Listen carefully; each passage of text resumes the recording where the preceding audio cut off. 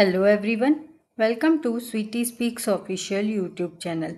Today we are at day 4 of 111 days verification challenge. The skill set we are currently focusing on is digital electronics. The topic chosen for today is counters and timers.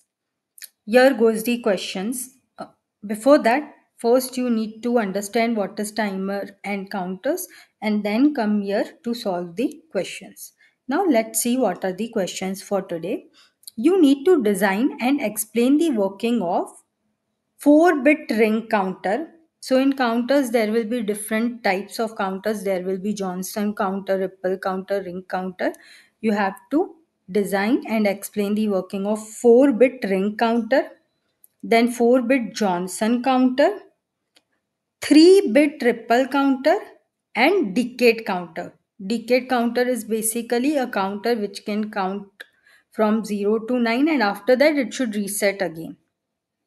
So that kind, kind of counter is called as decade counter. You need to design the decade counter.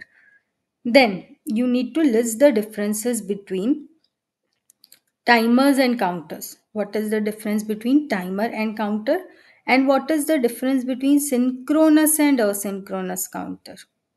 The counter can be synchronous, it can be asynchronous. What is the difference between the two? You need to list down. Then there is a timer IC.